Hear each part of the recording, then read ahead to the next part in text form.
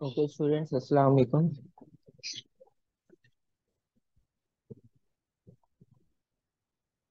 अच्छा टॉपिकल्स की प्रैक्टिस तो कर ली होगी। स्पेस फिजिक्स के क्वेश्चंस भी मिल गए अब आपको।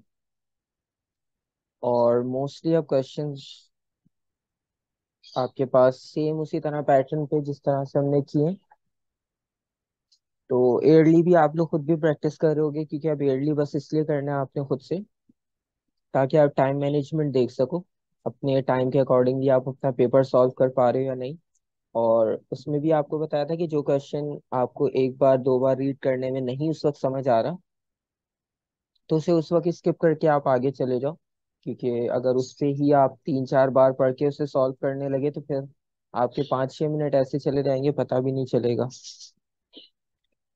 ठीक है तो आज पेपर सॉल्व करते हैं। क्वेश्चन वन है pendulum makes 50 complete swings in 2 minutes 40 seconds. What is the time period for one complete swing? अच्छा बेसिकली स्विंग्स लिखा हो या वाइब्रेशन लिखा हो ऑसिलेशन लिखा हो, एक ही बात है। ठीक है तो फिफ्टी इसकी कंप्लीट स्विंग्स हो रही हैं और टाइम आपके पास है टू मिनट्स फोर्टी सेकेंड अच्छा टू मिनट फोर्टी सेकेंड्स का मतलब क्या हुआ? कि आप इसको कन्वर्ट किसमें करोगे? सेकंड्स में।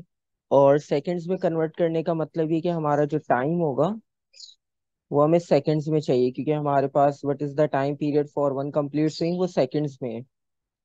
तो अगर हम सेकंड्स में इसको काउंट करें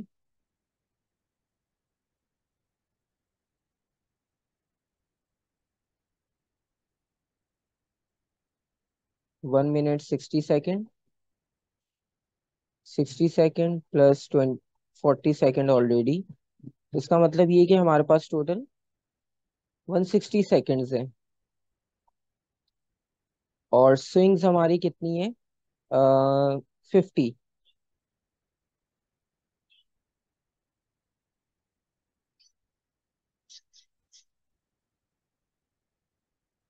तो आपके पास एक स्विंग का क्या टाइम पीरियड होना चाहिए?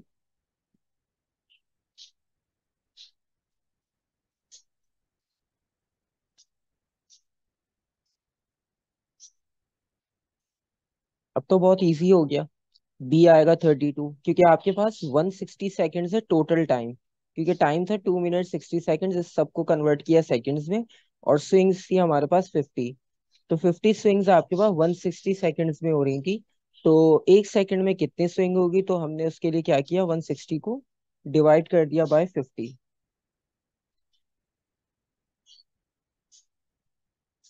और डिवाइड करने के बाद जो हमारा आंसर है, वो आ गया।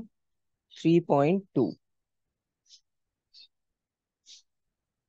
option B ठीक है?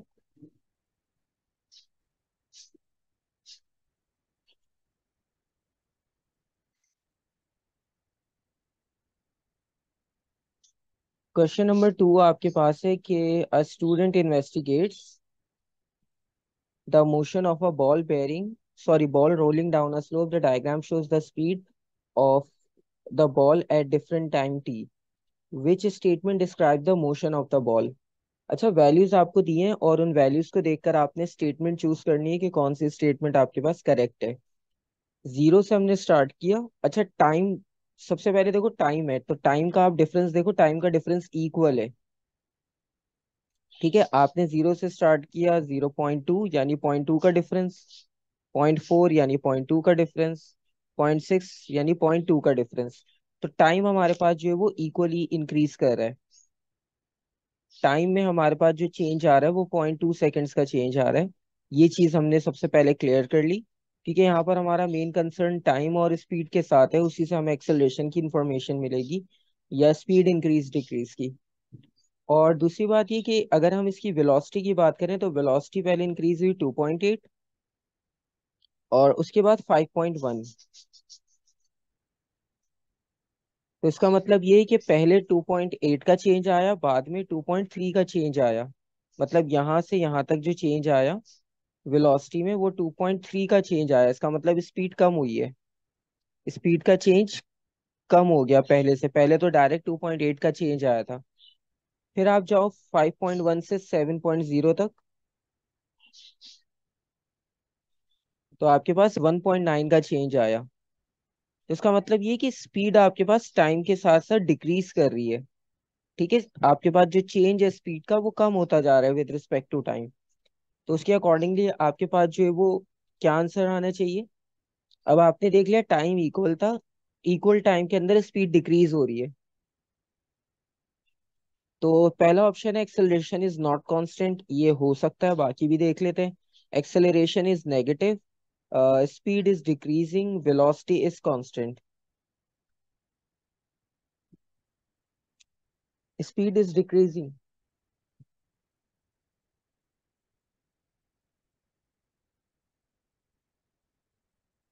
अच्छा सी आंसर लिखोगे आप?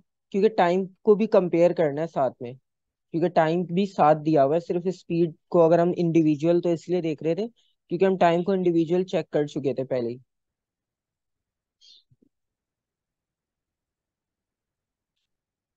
अच्छा बेसिकली इसमें हुआ ये कि हमने टाइम देखा टाइम का चेंज इक्वल था।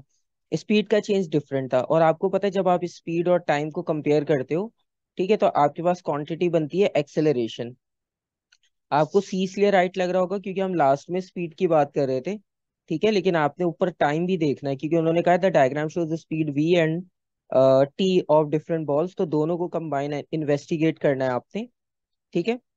तो जब आपने दोनों को कंबाइन इन्वेस्टिगेट करना है तो उसका मतलब है एक्सेलरेशन इज़ नॉट कांस्टेंट ठीक है?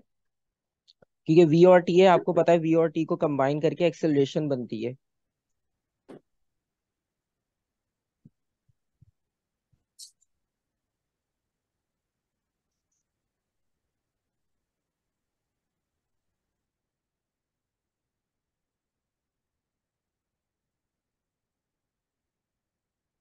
और क्वेश्चन नंबर थ्री है which statement about acceleration is correct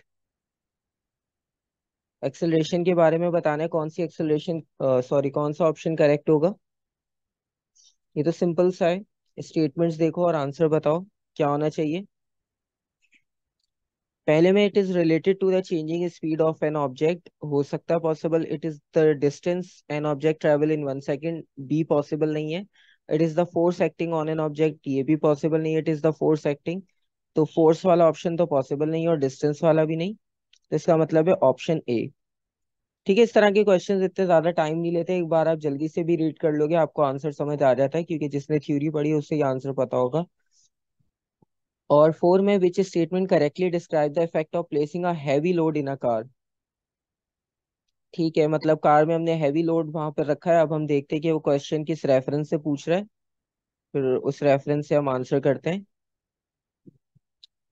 It is easier to accelerate the car and easier to bring the car to rest ठीक है, ये तो पॉसिबल नहीं है, क्योंकि लोड बढ़ गया तो एक्सेलरेट करना मुश्किल होगा।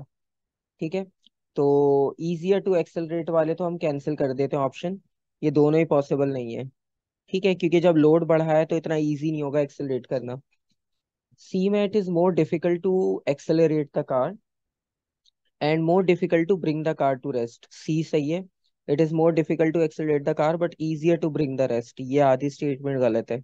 इसका मतलब है ऑप्शन सी ठीक है? क्योंकि जब आप F equals to M A देखते हो तो F equals to M A में अगर मास कांस्टेंट होता है तो फोर्स डायरेक्टली प्रोपोर्शनल टू होती है एक्सेलरेशन लेकिन आपने मास बढ़ा दिया तो इसका मतलब है आपको फोर्स भी बढ़ानी पड़ेगी उसको एक्सेलरेट करवाने के लिए।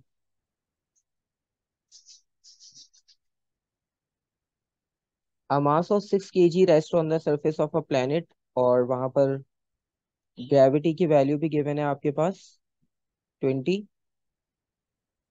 और वेट आपने फाइंड आउट करना है इजी है W equals to M G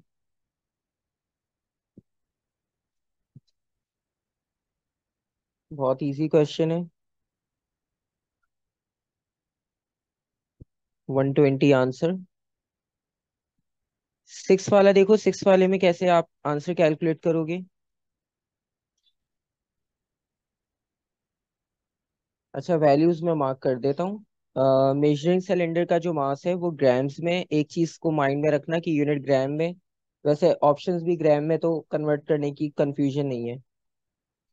और ये हमने वॉल्यूम ऐड किया लिक्विड का सिलेंडर के अंदर।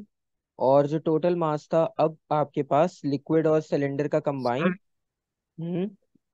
लिक्विड की डेंसिटी निकाली है जिससे कम होंगे वो ऊपर फ्लोट करेंगे ना? अ, इन्होंने कहा है कि four solid objects are low into the liquid the densities of the objects are shown. When object which object will float in the liquid? हाँ इसमें आपने ये करना है कि आपने जो है वो डेंसिटी कैलकुलेट करनी है लिक्विड की और आपको पता है कि अगर डेंसिटी लिक्विड से ज़्यादा हो ठीक है जिसकी डेंसिटी ग्रेटर देन लिक्विड होगी वो आपके पास सिंक हो जाएगा। ठीक है? और जिस सॉलिड की डेंसिटी लेस होगी बी आंसर आ रहा है। हाँ तो वो आपके पास फ्लोट हो जाएगा। ये वाला क्वेश्चन किसी और तरह से भी कहीं पर इंक्लूड था हमने पहले भी ऐसा कोई क्वेश्चन किया है। तो इसमें सबसे पहले आपने जो है वो डेंसिटी कैलकुलेट करनी है। अब डेंसिटी कैसे कैलकुलेट करोगे? क्योंकि पहले लिक्विड की डेंसिटी पता होनी चाहिए आपको। फिर ऑब्जेक्ट्स की तो वैल्यूज़ गिवन है। Sir density zero point nine two five है। फाइव सिक्सटी में से वन नाइनटी माइनस किया तो mass over volume four hundred से डिवाइड कर दिया। बिल्कुल। थ्री अच्छा सेवेंटी देखो आ रहा है मैथ्स हाँ बिल्कुल सही। अब आप देखो इसमें डेंसिटी जो कैलकुलेट करनी है ना उसमें बड़े आप ध्यान से चीज़ें देखना। उन्होंने पहले कहा कि मेजरिंग सिलेंडर का मास था 190 और लिक्विड उसमें आपने ऐड किया 400 सेंटीमीटर क्यूब और जो टोटल मास था तो टोटल मास आपके पास लिक्विड और सिलेंडर का हुआ 560 तो अब आप ये देख लेना कि क्वांटिटीज आप कौन सी यूज़ करोगे ठीक है? इसमें कंफ्यूजन होती है कि क्वांटिटी कौन सी यूज़ करें कौन सी नहीं। तो सर माइनस करके हमने निकाला क्या वो उन्होंने कहा कि हम मास का डिफरेंस निकाल रहे हैं। कि लिक्विड का मास हमारे पास कितना आएगा? क्योंकि उन्होंने मेजरिंग सिलेंडर का मास आपको दिया है।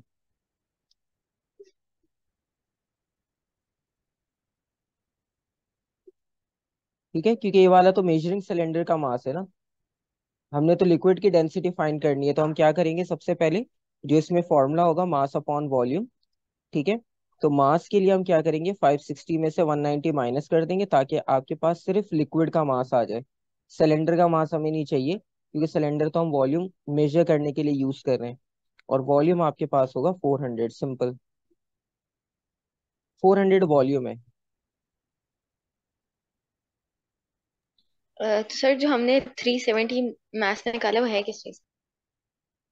ये 370 जो आपके पास आया ना मास वो सिर्फ़ वाटर का है। सिर्फ़ लिक्विड का। क्योंकि हमें सिर्फ़ लिक्विड का मास और वॉल्यूम चाहिए। ठीक है ये जो 190 थे ना ये मेजरिंग सिलेंडर का था ये हमें नहीं चाहिए था।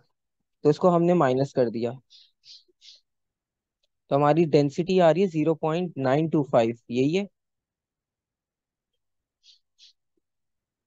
यस सर ठीक है। अब इस डेंसिटी से मैच कर लो कि आपके पास कौन ग्रेटर है कौन लेस है। तो जो ग्रेटर है वो सिंक हो जाएगा। उन्होंने फ्लोट का पूछा है। तो ये फ्लोट करेगा।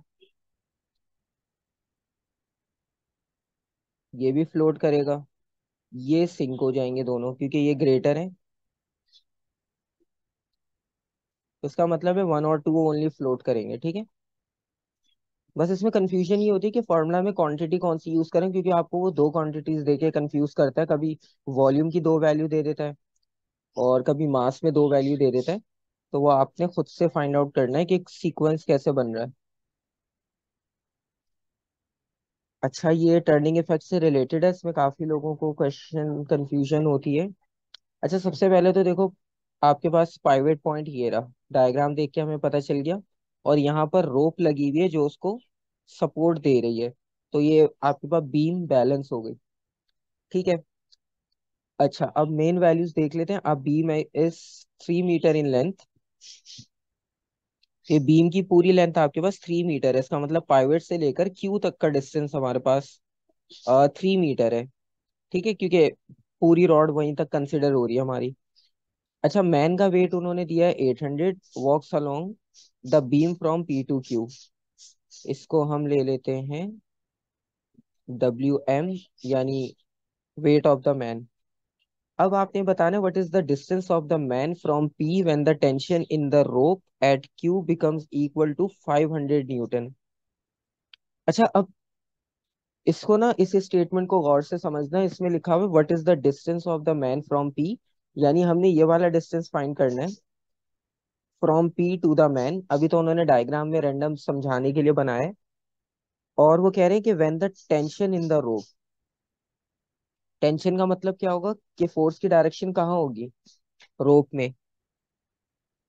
क्योंकि जब भी थ्रे- अपवर्ड हाँ जब भी थ्रेड या रोप की बात होती है तो टेंशन का मतलब ये होता है कि वो ऊपर जब सपोर्ट कर रही होती है तो जिस डायरेक्शन में वो सपोर्टिंग फोर्स अप्लाई कर रही होती है वही टेंशन होती है।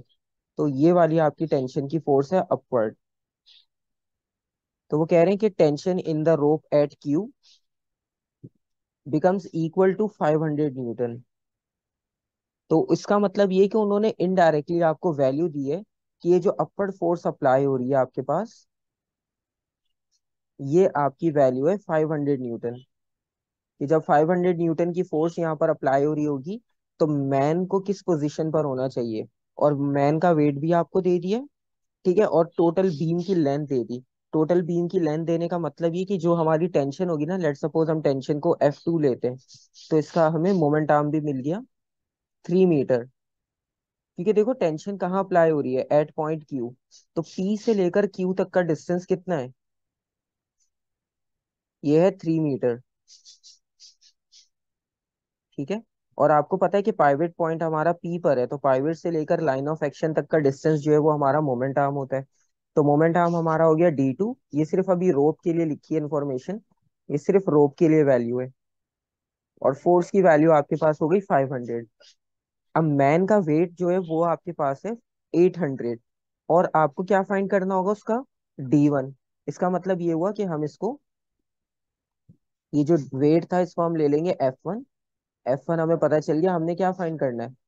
डी वन क्वेश्चन बहुत सिंपल है, बस स्टेटमेंट्स थोड़ी सी ऐसी थी कि मतलब फ़र्स्ट टाइम हमने टेंशन और इस तरह का वर्ड देखा होगा, क्योंकि नॉर्मली वो स्ट्रेट आपको जो है वो फोर्स वर्ड लिख कर देता है। तो आपको पता है कि रोप जब फोर्स अप्लाई कर रही है, देखो फोर्सेस आइडेंटिफाई करने के बाद दूसरा काम क्या करते हो? रोटेशन आइडेंटिफाई करना। तो अगर आप मैन को कंसिडर करो तो मैन की वजह से रोटेशन कहाँ होगी? डाउनवर्ड या अपवर्ड ठीक है आंसर बता दिया आपने चेक कर लेते हैं। इसमें आपको मैंने इजी मेथड बताया था कि आप कंपस रख के जो है वो चेक कर लिया करो। पाइवेट जो पॉइंट है, वहाँ पे कंपस का पॉइंट रखो और उसको रोटेट करके देखो जिस डायरेक्शन में वेट है। अब मैन का वेट डाउनवर्ड है ना तो मैन की वजह से रोटेशन होगी यहाँ पर क्लॉकवाइज और टेंशन अपवर्ड है अपवर्ड का मतलब ये कि अपवर्ड से रोटेशन होगी इस डायरेक्शन में. तो ये हो गया एंटी क्लॉकवाइज तो इसका मतलब है clockwise rotation equals to anti clockwise rotation principle of moment तो क्लॉकवाइज रोटेशन कितनी होगी? उसको हमने वन लिया है. बेटा टेंशन जो होती है ना रोप में, वो हमेशा अपवर्ड ही होती है। आपके पास जब हमने रोप लगाई है ना, देखो क्वेश्चन में सबसे पहले इसलिए बताया था कि रोप जो लगी है बेसिकली वो उस रॉड को बैलेंस कर रही है। क्योंकि अगर कोई भी इस पे वॉक करेगा रॉड पे तो रॉड तो नीचे चली जाएगी। तो उसको बैलेंस करने के लिए हमें रोप लगानी है। तो रोप जो है, वो आपके पास राइट हैंड पे लगाइए ताकि वो बैलेंस रहे। जिस तरह से ब्रिज होता है आपके पास ब्रिज पे रोप्स लगी होती हैं, ठीक है? तो उनका काम भी यही होता है कि वो उसे ऊपर की तरफ़ होल्ड करके रखे। तो टेंशन हमेशा आपके पास जो है वो अपवर्ड होती है, क्योंकि वो उसको होल्ड करके रख रही है रोप और एंटी क्लॉकवाइज के लिए हमने टेंशन लिया तो हमारी एफ़ डी डी टू तो बस आपने कैलकुलेशन करनी है। एफ़ वन आपका एट हंड्रेड है मैन का वेट डी वन आपने फाइंड करना है। एफ़ टू उन्होंने आपको बता दिया था फाइव हंड्रेड और डी टू आपको बता दिया थ्री मीटर तो फिफ्टीन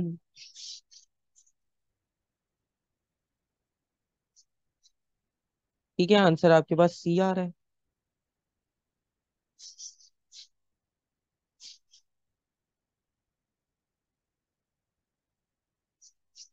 ठीक है, सी आपके पास आंसर है, मार्किंग स्कीम में भी। One point nine metre. ठीक है। हाँ राउंड ऑफ़ तो ऑप्शंस हमारे पास गिवन होते तो डिफरेंस पता चल जाता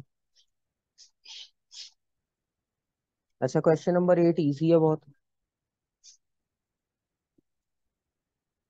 A A question number nine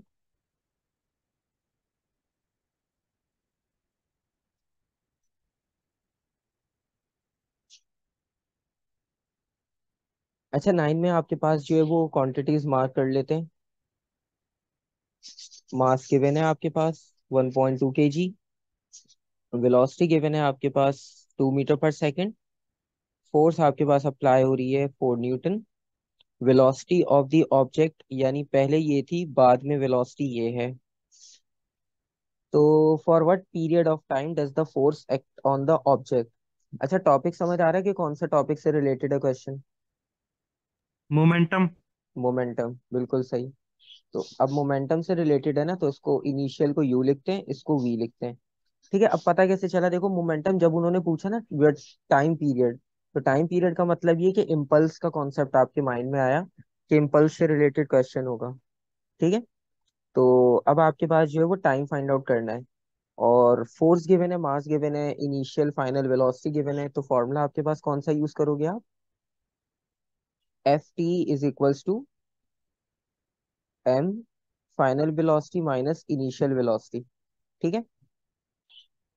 क्योंकि चेंज ऑफ़ मोमेंटम आपके पास इक्वल होता है इम्पल्स के और इम्पल्स को आप इसके भी इक्वल लिख सकते हो। तो हम इतना पार्ट कंसिडर करेंगे। क्योंकि हमें टाइम फाइंड आउट करना है। और टाइम की वैल्यू आपके पास इक्वल होगी।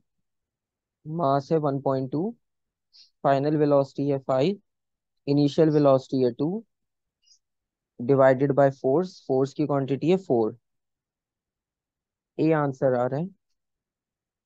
ठीक है चेक कर लेते हैं। ठीक है, सबका ए आ रहा है तो फिर ए आंसर ही होगा। मार्किंग स्कीम में भी ए है। ठीक है। ठीक है, बस इंपॉर्टेंट ये था कि क्वेश्चन आप आइडेंटिफाई करो कि क्वेश्चन आपके पास किस टॉपिक से दिया है।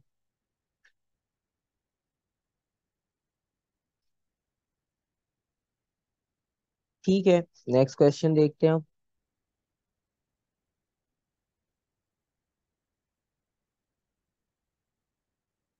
एनर्जी से रिलेटेड क्वेश्चन है और क्वेश्चन बेसिकली कुछ इससे रिलेटेड है कि पॉइंट एक्स दिया हुआ है कार ऊपर से नीचे से ऊपर गई, चार ऑप्शंस दिए हुए।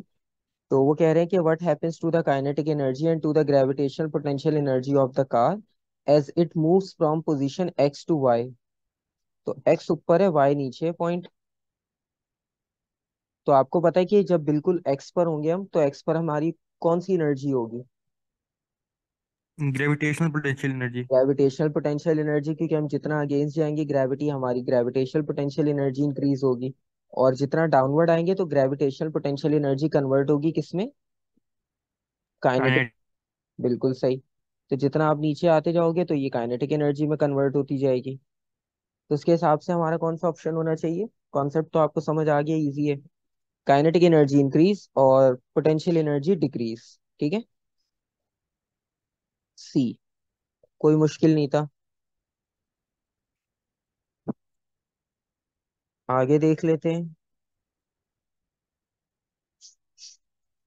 अच्छा वो पूछ रहे which energy source does not have the sun as the original source मतलब किस, उस एग्ज़ाम्पल में आपके पास, किस एग्ज़ाम्पल में सन आपके पास एज अ सोर्स काम नहीं करता?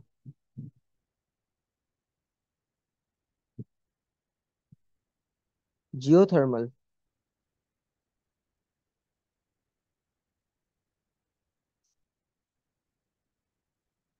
विंड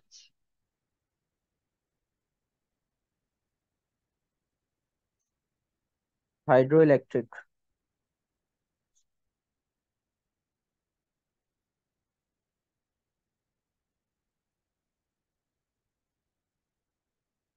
अच्छा देखो कोल आपके पास ना, अब स्टार्टिंग से देखो कोल आपके पास मटेरियल है। तो मटेरियल की तो वो बात कर नहीं रहे, वो कह रहे हैं which energy resource does not have the sun ठीक है? तो विंड भी आपके पास एक अलग एक अलग ही मतलब एक तरह का वो सोर्स ही है वो। ठीक है? तो बेसिकली हम उसकी बात नहीं कर रहे तो ऑप्शन या तो जियोथर्मल में से होगा या हाइड्रो इलेक्ट्रिक में से होगा। ठीक है?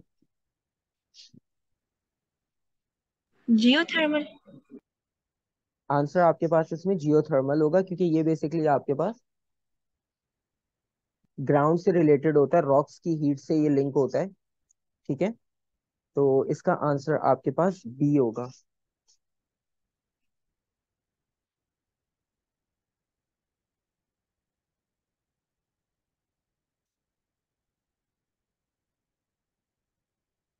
अच्छा इस तरह के भी क्वेश्चन हम बहुत कर चुके हैं प्रेशर से रिलेटेड इसमें बॉक्स की डायमेंशन गिवन है। और वो कह रहे हैं on which label surface should the block rest to produce the smallest pressure on the bench अब आपने ये बताना है कि स्मॉलेस्ट प्रेशर कब होगा। अच्छा देखो, इसमें कैलकुलेशन करने की भी ज़रूरत नहीं पड़ती। अगर आप इसको कॉन्सेप्चुअली मार्क कर लो। अगर आप देखो तो फॉर्मूला क्या होता है? प्रेशर का फोर्स अपॉन एरिया ठीक है। तो फोर्स तो बेसिकली सेम होगी, क्योंकि बॉक्स का जो भी वेट है वो तो सेम ही होगा, क्योंकि मास सेम है वेट भी वही होगा। अब आपने एरिया ऐसा चूज़ करना है कि जिसकी वजह से प्रेशर आपका स्मॉलेस्ट हो। मतलब आपने मैक्सिमम एरिया लेना है ताकि मिनिमम प्रेशर अप्लाई हो, क्योंकि उन्होंने स्मॉलेस्ट प्रेशर पूछा है।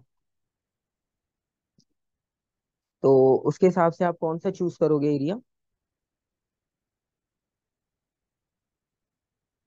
पी यानी ए क्योंकि ए में आप देखो आपकी 80 सेंटीमीटर की हाइट है तो जब आप उसको पी साइड से रखोगे ठीक है तो पी साइड पर आपके पास क्या होगा? आपका जो सरफेस एरिया है वो इंक्रीज हो जाएगा क्योंकि 80 मल्टीप्लाई बाय सर आर भी तो सेम है ना?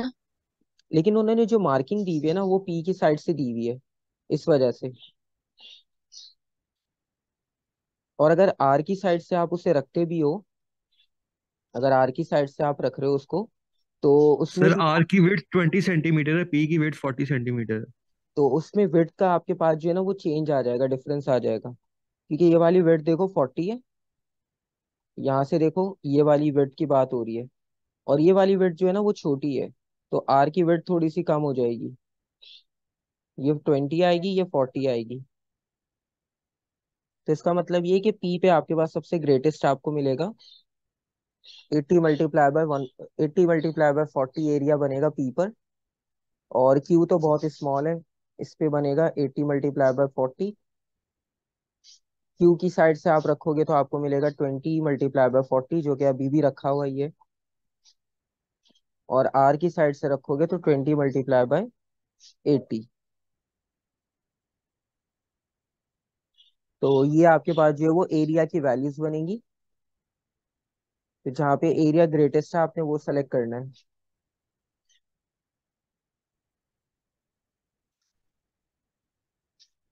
थर्टीन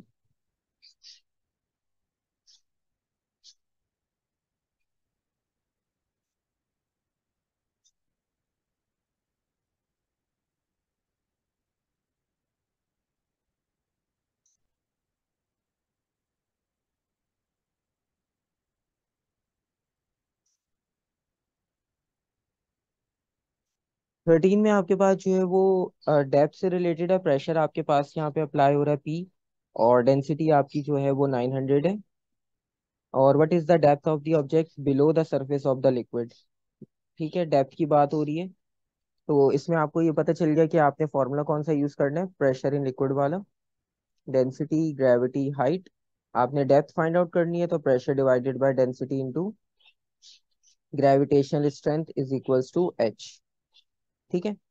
अच्छा ये वाले पुराने पेपर हैं तो इसमें आपको पता है कि एक्सेलरेशन ड्यू टू ग्रेविटी को हम टेन लेते थे, अब नए पेपर्स जो होंगे, उसमें nine point eight one paper में लिखी होगी तो इसमें टेन के हिसाब से कैलकुलेट करना, ठीक है? तो प्रेशर आपका कितना है? फोर्टी फाइव हंड्रेड और डिवाइडेड बाय डेंसिटी कितनी थी? नाइन हंड्रेड और ये हमारी हो जाएगी वैल्यू टेन ठीक है? ए आंसर आ रहा है तो ठीक है, ए ही होगा। बिल्कुल ए ही आंसर आ रहा है। अच्छा एक चीज़ एक चीज़ देखना। एक चीज़ थोड़ा सा यहाँ पर देख लो। आप, यहाँ पर आपने जो कैलकुलेट किया है ना हाँ अब देखो, आपने कैलकुलेट किया बिल्कुल सही, वही बता रहा हूँ मैं यहाँ पे कि डिफरेंस आ क्यों रहा है। आपने कैलकुलेट किया ज़ीरो पॉइंट फाइव अब आप यूनिट जो है ना वो मिस कर रहे हो। इन्होंने यूनिट दिया सेंटीमीटर यहाँ पर भी सेंटीमीटर सब जगह सेंटीमीटर दिया है। अच्छा डी और सी तो होगा ही नहीं उसको तो हम छोड़ देते हैं। ठीक है अब आपका जो आंसर आ रहा है ना वो आएगा मीटर में। आपका आंसर मीटर में क्यों आएगा? क्योंकि यहाँ पर ज़ीरो पॉइंट फाइव मीटर आ रहा है तो हंड्रेड से मल्टीप्लाई करके फिफ्टी सेंटीमीटर आएगा ना सी बिल्कुल। तो आपने क्या करना है आप इसको मल्टीप्लाई करोगे। ज़ीरो पॉइंट फाइव जो है वो आपका आंसर आ रहा है भी सेंटीमीटर में या मीटर में, ये आपने देखना है, ठीक है? आपका आंसर आ रहा है मीटर में, क्योंकि आपके पास मीटर क्यूब था। इसको कन्वर्ट करना पड़ेगा सेंटीमीटर में, ठीक है? तो पॉइंट फाइव को मल्टीप्लाई बाय हंड्रेड कर लो तो आपका आंसर आएगा सी, फिफ्टी सेंटीमीटर। तो यहाँ पे यूनिट कन्वर्जन भी उन्होंने ऐड कर दी लास्ट में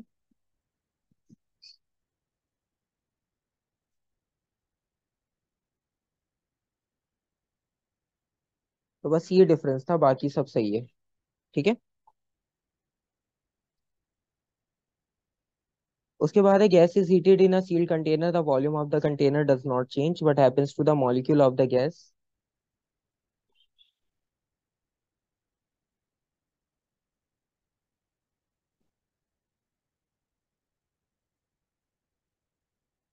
तो आपके पास यहाँ पर कौन सा ऑप्शन होगा रिलेटेड अच्छा वॉल्यूम यहाँ पे फिक्स है। ठीक है। वॉल्यूम आपका फिक्स है। ठीक है, वो कह रहे हैं does not change volume fix है और सील कंटेनर है। और गैस को आप हीट कर रहे हो। तो इसका मतलब ये हुआ कि आपके पास एवरेज काइनेटिक एनर्जी इंक्रीज हो जाएगी, लेकिन क्योंकि वॉल्यूम फिक्स है तो डिस्टेंस इंक्रीज नहीं हो पाएगा। ठीक है, क्योंकि आपके पास जब वॉल्यूम ही फिक्स है तो आपको स्पेस ही नहीं मिल रहा है एक्सपेंड करने का। और मास तो चेंज होगा नहीं और वॉल्यूम भी चेंज नहीं होगा क्योंकि वो फिक्स कर दिया हमने ऑलरेडी तो सिंपल ऑप्शन है बी जी, बिल्कुल मास फिक्स रहेगा। उसके बाद है water in a beaker evaporates when left on a bench for a period of time, which three factors all affect the rate of evaporation factor affecting बताना है wind speed surface area temperature option A simple सा option है इसमें। ठीक है? ये volume वाला factor नहीं होता।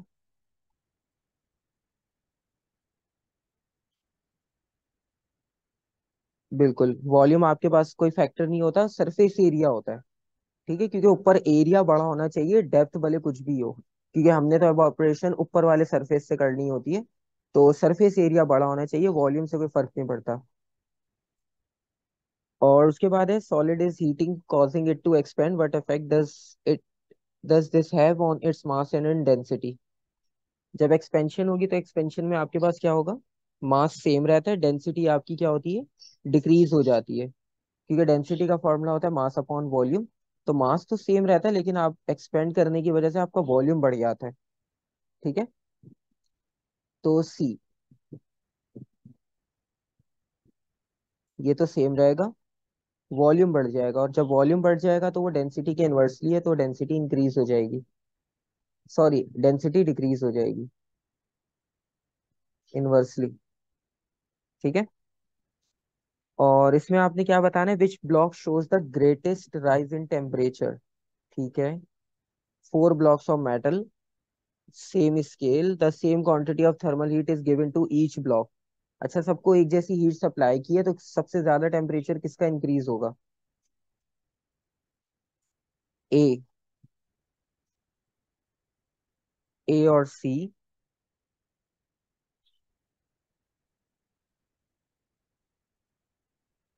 ठीक है? आपके पास ए का साइज़ देखो कंपैरिजन बी सी और डी के। आपके पास सबसे स्मॉल है, उसकी हाइट भी कम है और उसकी विड्थ भी सबकी जितनी है ऑलमोस्ट मतलब उन्होंने कहा है कि सेम स्केल पे बनाया है। तो सेम स्केल का मतलब ये कि अगर आप स्केल से इसकी, ये बेस को मेजर करके देखोगे ना तो ये उसी की बेस को टच करेगा सी की। बाकी बी और डी तो हमें पता है, वो बहुत बड़े उनको तो हटा दो। वो तो पॉसिबल नहीं होंगे। उसमें तो टाइम लगेगा। लेकिन जो ए और सी है, उसमें बेस आपकी इक्वल है तो इसका मतलब है ए और सी का साइज़ विड्थ वाइज सही है, यानी जो जेड एक्सिस में जा रहा है। लेकिन ए की हाइट कम है, इसका मतलब है ए में जल्दी आपके पास हीट ट्रांसफ़र हो जाएगी, कि उसका साइज़ सी के कंपैरिजन में कम है। ठीक है? तो सेम स्केल का मतलब ये कि आप अगर इसकी डेप्थ मेजर करना चाह रहे हो तो आप लाइन ड्रॉ करके चेक कर सकते हो, कि ये सी के जितना ही है या उससे बड़ा या छोटा है। ठीक है? तो ये बिल्कुल सेम उसी की डेप्थ का बन रहा है। लेकिन बस इसकी हाइट कम है तो इसमें हीट जल्दी ट्रांसफ़र हो जाएगी। और उसके बाद है why are metals better thermal conductors than other solids वैसे ये भी बहुत इजी है, हमें पता है कि फ्री इलेक्ट्रॉन्स का कॉन्सेप्ट होगा। Metal contains free electron which help transfer the energy ठीक है?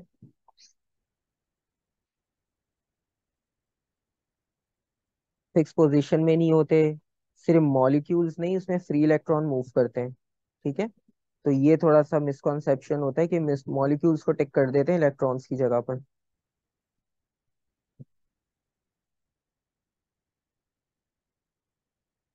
अच्छा दो फ्रीजर हैं, एक एक्स एंड वाई आइडेंटिकल हैं, और बस इसमें प्रॉब्लम ये है कि एक का डोर फ्रंट पे, एक का डोर आपके पास टॉप पे। बाकी दोनों फ्रीजर आइडेंटिकल है both doors are same size and are open for same amount of time which freezer gains the least amount of thermal energy in this time and why thermal energy सबसे कम किसको मिलेगी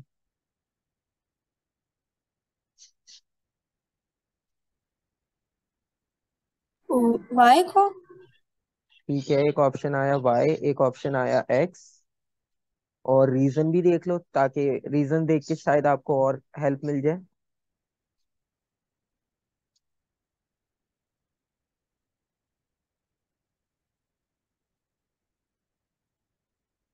सी होगा, क्योंकि Y को आपके पास least heat मिलेगी, ये हम पहले भी कर चुके हैं, कि एसी वाली बात है कि एसी को हम ऊपर इसलिए लगाते हैं क्योंकि कोल्ड एयर डाउनवर्ड जाती है। तो जब आपका डोर ऊपर की तरफ़ है तो इसका मतलब है कोल्ड एयर डाउनवर्ड जाएगी तो इसका डोर नीचे की तरफ़ है, ठीक है? तो इसको जो है वो आपके पास हीट थर्मल एनर्जी थोड़ी ज़्यादा मिलेगी। उसका डोर ऊपर है तो हीट जब सॉरी आपके पास कोल्ड एयर जब डाउनवर्ड फ्लो करेगी वहाँ पर तो जो ऊपर वाला डोर है आपके पास तो वहाँ पर जो है वो हीटिंग अमाउंट जो है वो लेस होगा एज कंपेयर टू एक्स के। तो freezer gaining the least thermal energy Y अब वाई में आपके पास दो ऑप्शन है cold air falls warm air falls और हमें पता है कोल्ड एयर फॉल होती है, इसका मतलब है ऑप्शन सी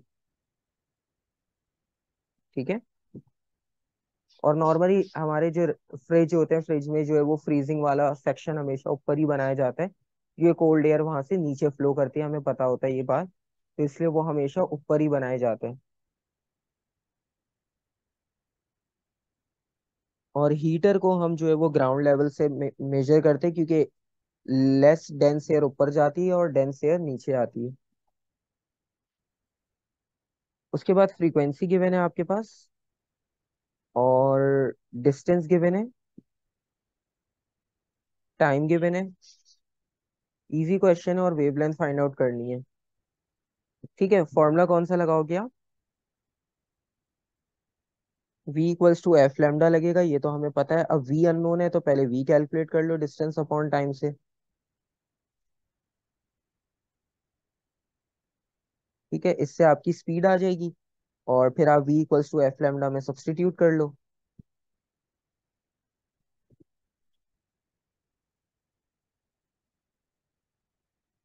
ठीक है आंसर चेक कर लेना। कि क्या आ रहा है यूनिट्स वगैरह देखकर?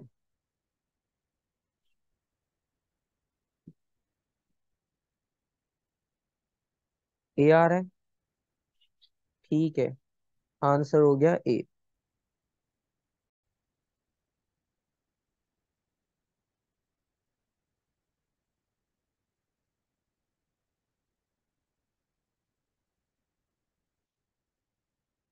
Question number twenty one अच्छा क्वेश्चन नंबर ट्वेंटी वन भी वेव सेक्शन से ही है।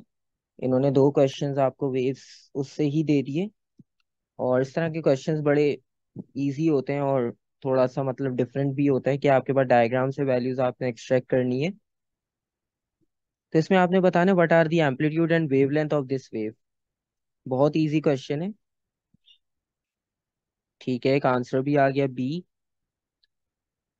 ठीक है अच्छा जिससे नहीं क्लियर कॉन्सेप्ट थोड़ा बहुत अगर कंफ्यूजन है तो आपको पता होगा कि मीन पोजीशन से जो मैक्सिमम डिस्प्लेसमेंट होता है, ठीक है, ऊपर की डायरेक्शन में वर्टिकल तो उसे हम कहते हैं एम्पलीट्यूड यानी ये आपका एम्पलीट्यूड है, ये मैक्सिमम है।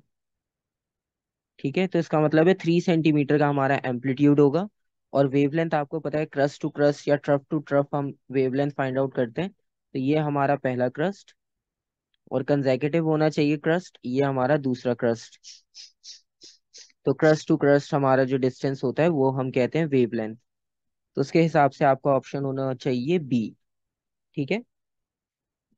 इजी क्वेश्चन था? कोई कंफ्यूजन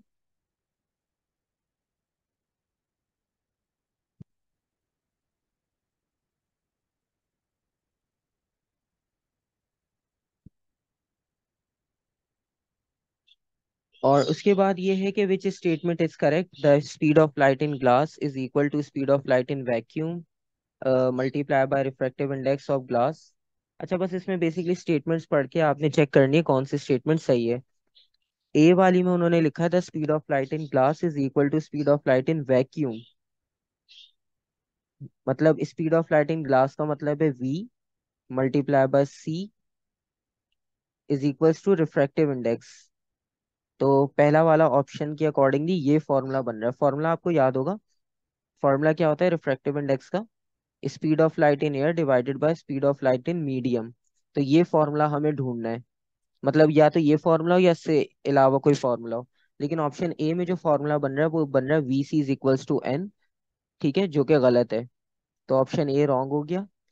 बी में the incident angle of a light ray at an air glass surface is the angle between the ray and the glass surface आपको पता है हमेशा एंगल नॉर्मल से बनाया जाता है ग्लास सरफेस से नहीं बनाया जाता। सर ऑप्शन ए जरा दोबारा पढ़िएगा ऑप्शन ए में the speed of light in glass speed of light in glass का मतलब है मीडियम की बात कर रहा है speed of light in medium तो ये हमारे पास v रिफ्लेक्ट कर रहा है। Is equal to the speed of light in a vacuum multiplied by refractive index of the glass इसको एक मिनट फॉर्मूला इसका सही कर लेते हैं। V इज़ इक्वल्स टू ये बन रहा है a में, ठीक है? तब भी वो गलत ही होगा क्योंकि v ओवर c बनेगा, ठीक है? N इज़ इक्वल्स टू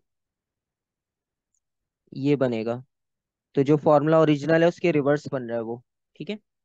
वो मिस्टेक हो गई, उसको सही कर लेना।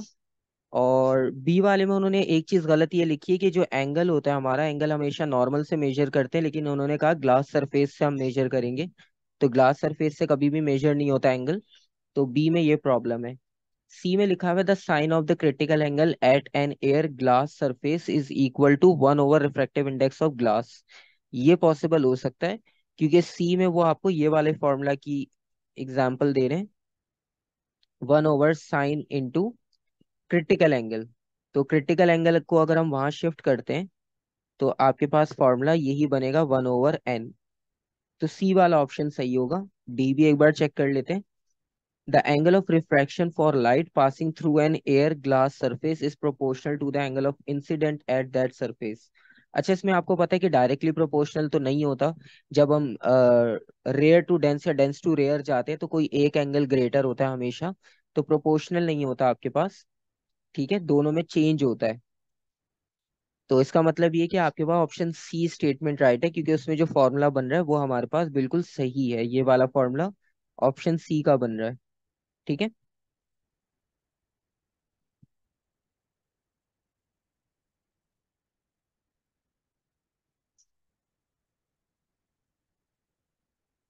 Okay Question number 23. A narrow beam of white light passes through a prism and is dispersed into a spectrum. Proportional यानी डायरेक्टली प्रोपोर्शनल जब वो सिर्फ़ प्रोपोर्शनल लिखता है ना तो इसका मतलब होता है डायरेक्टली अगर इन्वर्सली होता है ना तो वो प्रोमिनेंट करके लिखता है इन्वर्सली लेकिन जब सिर्फ़ डायरेक्टली लिखा हो सॉरी जब प्रोपोर्शनल लिखा हो तो इसका मतलब है डायरेक्टली प्रोपोर्शनल कि दोनों एंगल्स आपके पास एक साथ बढ़ते हैं. हालाँकि ऐसा नहीं होता, उसमें आपके पास आपको पता होता है कि जब रेयर टू डेंस जाते हैं तो एंगल ऑफ़ इंसिडेंस बड़ा होता है. और जब डेंस टू रेयर जा रहे होते हैं तो एंगल ऑफ़ रिफ्रैक्शन बड़ा होता है, इस वजह से। जी, अगर रिफ्लेक्शन पूछा होता तो फिर सही होता है क्योंकि वो दोनों सेम होते हैं, उन्होंने रिफ्रैक्शन पूछा था तो वो सेम नहीं होते। अच्छा ट्वेंटी थ्री में आपने बताना विच रॉइस करेक्ट एक आंसर आ गया सी दूसरा आंसर भी आया सी ठीक है तो आपको पता है कि सबसे पहले रेड होगी ऊपर, और सबसे लास्ट में जो है वो वायलेट होगा।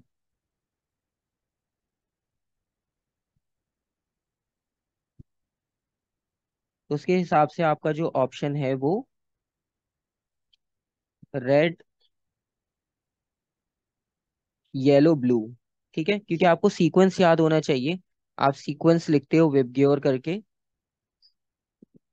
और सीक्वेंस लिखने का मतलब ये कि रेड की वेवलेंथ सबसे ग्रेटेस्ट होती है तो ये सबसे पहले आएगा।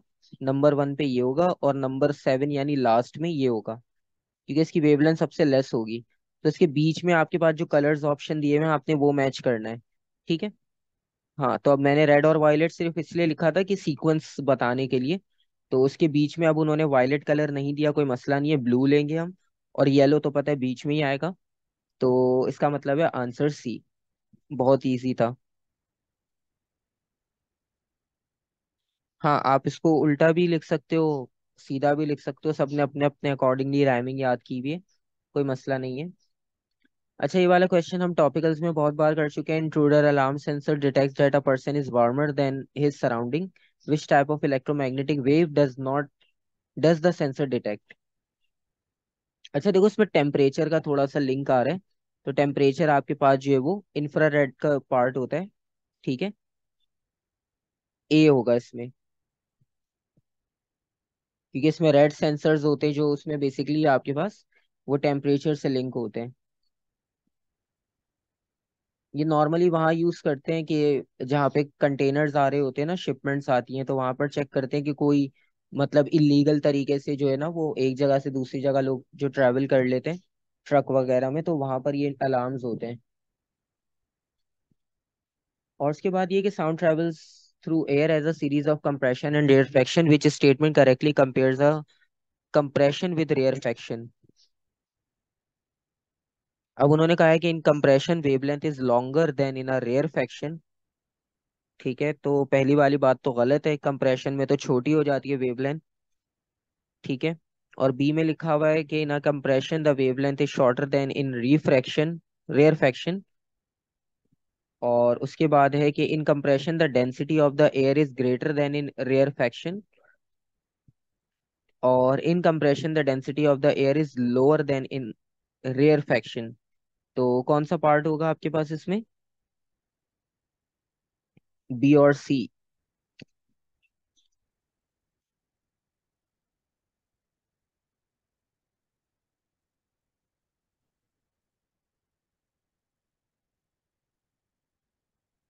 अच्छा अब बी का इसमें ये कि कंप्रेशन और रेयरफेक्शन अब क्योंकि ट्रांसवर्स वेव होती है तो ट्रांसवर्स में हम क्रस्ट और ट्रफ से निकाल लेते हैं। ठीक है? लेकिन कंप्रेशन और रेयर फैक्शन आपके पास जो होता है तो कंप्रेशन रेयर फैक्शन में सिर्फ़ फ़र्क ये होता है कि वो आपके पास एक अलग अलग स्टेट को डिफाइन करते हैं। क्योंकि ये ट्रांसवर्स नहीं है, ये लॉन्गिट्यूडनल है तो लॉन्गिट्यूडनल में हम वेवलेंथ जो है वो क्रस क्रस से नहीं निकाल रहे होते तो उसका मेथड डिफरेंट होता है। ठीक है? तो इसलिए यहाँ पर ये जो वेवलेंथ वाला आपके पास कॉन्सेप्ट है, इसको आप स्किप करोगे यहाँ पर, क्योंकि ये आपके पास ट्रांसफर्स में हम यूज़ करते हैं लॉन्गिट्यूडनल में यूज़ नहीं करते। ठीक है तो इससे कंफ्यूजन ये होती है कि हम नॉर्मली इसको टिक इसलिए कर देते हैं, क्योंकि हमारे माइंड में ट्रांसफर्स चल रहा होता है। लेकिन आपको पता है कंप्रेशन रेयरफेक्शन जब हम मार्क करते हैं तो उसमें कोई क्रस्ट रफ का रेफरेंस नहीं बनता, ठीक है? तो इसका मतलब ये कि आपके पास जो डेंसिटी वाला है, वो आप कर सकते हो, क्योंकि जब कंप्रेशन होता है तो कंप्रेशन में क्या होता है कि मॉलिक्यूल्स क्लोज होते हैं। तो मॉलिक्यूल्स क्लोज होने का मतलब ये हुआ कि डेंसिटी आपकी ज़्यादा हो जाती है वहाँ पर, ठीक है? तो in compression the density of air is greater than in rarefaction ठीक है थोड़ी सी जगह में आपके पास ग्रेटर मॉलिक्यूल्स होंगे कंप्रेशन में तो इसकी डेंसिटी हाई होगी as compare to rarefaction के, ठीक है? हाँ अगर ट्रांसफर्स पूछा जाता है ट्रांसफर्स की कोई एग्जांपल होती तो फिर हम जो है वो बी वाला टिक कर सकते थे, लेकिन आपको पता है कि हम लॉन्गिट्यूडनल में क्रस्ट या ट्रफ से कोई वेवलेंथ कैलकुलेट नहीं करी कभी भी तो बस ये लॉजिकल डिफरेंस है, वरना बी ऑप्शन आपके पास आपको वो भी करेक्ट लग रहा होगा, ठीक है?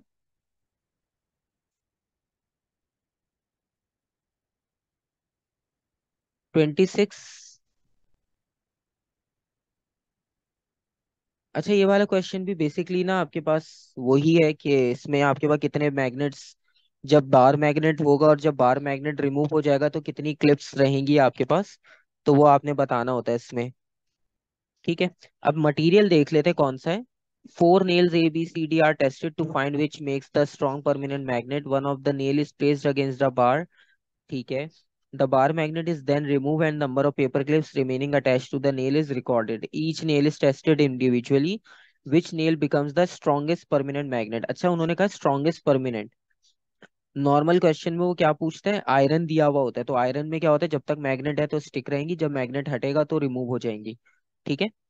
लेकिन यहाँ पर उन्होंने कहा स्ट्रॉन्गेस्ट तो स्ट्रॉन्गेस्ट हमने ये देखना है कि जब बार मैग्नेट होगा, तब भी मैक्सिमम नंबर होना चाहिए और जब बार मैग्नेट नहीं होगा तो उसके क्लोज क्लोज होना चाहिए।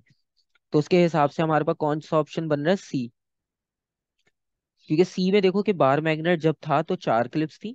जब रिमूव किया तो आपके पास कितनी रह गई? तीन। और डी में आपके पास फाइव और टू है, यानी लेस देन फिफ्टी हो गया वो। और सी में जो है वो ग्रेटर देन फिफ्टी है तो इसका मतलब है सी ऑप्शन आपके पास ज़्यादा स्ट्रॉन्ग मैग्नेट को, ज़्यादा स्ट्रॉन्ग परमानेंट मैग्नेट को रिप्रेजेंट कर रहा है। ठीक है? ऑप्शन सी होगा आपके पास राइट ऑप्शन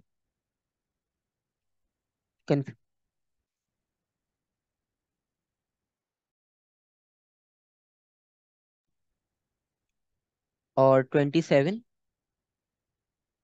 ट्वेंटी सेवन में एक स्टील बार है। स्टील बार को इलेक्ट्रिक करंट पास कर रहे हैं और इलेक्ट्रिक करंट पास करने के बाद उसको मैग्नेटाइज किया जा रहा है। और वो कह रहे हैं how can the circuit be altered so that it can be use to demagnetize the magnetize steel bar demagnetize करने का मेथड बताओ जल्दी से, क्या होगा? बहुत ईजी है। अभी ये जो सप्लाई लगी हुई है ना, ये डीसी है। ठीक है? एसी में आपको पता है इस तरह से वेव बनी हुई होती है। तो आपको पता है कि जब हमने डीसी से मैग्नेटाइज किया तो एसी हमें चाहिए होता है डीमैग्नेटाइज करने के लिए। ये वाली बात तो हमें याद है। ठीक है तो हम एसी वाला ऑप्शन ढूंढेंगे। तो पहला वाला तो ये remove the steel bar from the coil इसको तो कैंसिल करो, ये तो पॉसिबल ही नहीं है। और रिवर्स द तो सब में डीसी डीसी दिया हुआ है डीसी वालों को माइनस कर दो। तो replace the DC supply with an AC supply and gradually reduce the supply voltage to zero AC में आपको पता है करंट की डायरेक्शन चेंज होगी तो वो मैग्नेटिक फ़ील्ड को ज़ीरो कर देगा और स्लोली स्लोली आप ज़ीरो पर लेकर जाओ ताकि वो इफ़ेक्ट आपके पास ग्रेजुअली डिक्रीज होकर ज़ीरो हो जाए। ठीक है? तो बहुत इजी है, ये हमने टॉपिकल्स में भी बहुत बार ऐसे क्वेश्चंस देखे थे। और इसमें आपसे वो कह रहे हैं कि दो आइडेंटिकल रेजिस्टर हैं और वोल्टेज की रीडिंग आपको मिल रही है टू पॉइंट टू जो वोल्ट मीटर की रीडिंग है। और एम मीटर में आपको रीडिंग मिल रही है ज़ीरो पॉइंट टू फाइव तो वो आपसे कह रहे हैं what is the resistance of each resistor अच्छा कॉम्बिनेशन कौन सा? सीरीज़ है। और सीरीज़ कॉम्बिनेशन में आपको पता है कि करंट की वैल्यू सेम होती है। ठीक है तो इसका मतलब है करंट सब में सेम फ्लो करेगा। एक आंसर आया है सी ठीक है। और बाकी?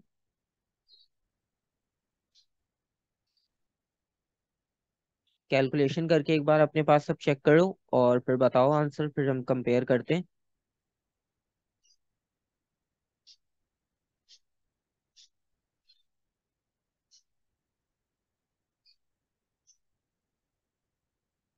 डी ठीक है। अच्छा देखो मैं लॉजिक बता देता हूँ। जो बाकी लोग सॉल्व कर रहे हैं, जिनको कॉन्सेप्ट समझ आ गया, वो तो बिल्कुल सही आंसर तक पहुँचेंगे। एक आंसर बताया सी वो बिल्कुल सही है। अब मैं लॉजिक एक्सप्लेन कर देता हूँ। सबसे पहली चीज़ आइडेंटिकल आइडेंटिकल का मतलब ये हुआ कि सीरीज़ कॉम्बिनेशन में वोल्टेज डिवाइड होता है तो इसका मतलब है वोल्टेज इक्वल डिवाइड होगा, सबसे इंपॉर्टेंट चीज़. क्योंकि आइडेंटिकल का मतलब ये हुआ कि दोनों रेजिस्टर की वैल्यू सेम है तो वोल्टेज डिवाइड तो होगा, लेकिन इक्वली डिवाइड होगा. तो इसका मतलब है इस वोल्टेज को जब हम डिवाइड करेंगे तो 1.1 वोल्ट इसको जाएगा 1.1 वोल्ट इसके पास जाएगा. और करंट दोनों के लिए सेम है, क्योंकि सीरीज़ कॉम्बिनेशन है। तो इसका मतलब ये कि जब हम आर की वैल्यू निकालेंगे तो आर आपके पास इक्वल होता है ratio of voltage into electric current तो वोल्टेज हम लेंगे 1.1 डिवाइडेड बाय 0.25 तो रेजिस्टेंस की वैल्यू आएगी सी नीचे टिक हो गया। ठीक है? तो लॉजिक बहुत सिंपल सी होती है। जब भी इस तरह का क्वेश्चन आता है, देखो सबसे पहले मैंने भी क्या किया, मैंने आपको बताया सीरीज़ कॉम्बिनेशन है करंट सेम होगा। आधा सवाल आपको लॉजिक समझ यहीं आ जाएगी। और आइडेंटिकल का मतलब ये हुआ कि वोल्टेज डिवाइड होगा, लेकिन इक्वली ठीक है? उसके बाद है कि an electric fire is connected to 240 volt supply voltage given है, और रेट आपके पास है वन किलो वॉट और हाउ मच चार्ज यानी क्यू फाइंड आउट करना है? इस तरह के क्वेश्चंस भी हमने बहुत किए हैं इजी हैं। टाइम आपके पास वन आवर का गिवन है। ठीक है कौन सा फॉर्मूला यूज़ करोगे? Charge divided by time charge divide by time करेंगे हम उससे करंट की वैल्यू करंट हमें पहले फाइंड आउट करना है इसका मतलब ठीक है? बिल्कुल सही। तो पहले पावर का हम फॉर्मूला यूज़ करेंगे V इंटू आई और उससे पहले करंट निकाल लेंगे। I is equals to P over V ठीक है, P ओवर V से हमारे पास जब करंट की वैल्यू आ जाएगी, फिर हम जो है वो Q is equals to I T वाला फॉर्मूला यूज़ करेंगे। ये वन किलो वॉट है, इसका मतलब है वन थाउज़ेंड है डिवाइडेड बाय वोल्टेज कितना था? टू फोर्टी ठीक है तो आपके पास जो करंट की वैल्यू आ रही है, वो आ रही है four point one six round off four point two कर लेते हैं। ठीक है। और I is equals to Q over T होता है तो Q is equals to I T अब इसमें एक मिस्टेक पता है कहाँ करेंगे हम लोग? हम लोग टाइम की वैल्यू गलत लिख देंगे।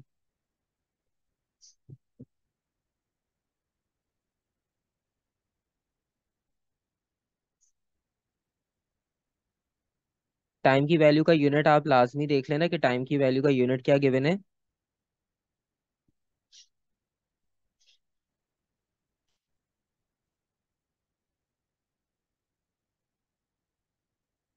क्या लिखेंगे टाइम की वैल्यू जल्दी से बताओ।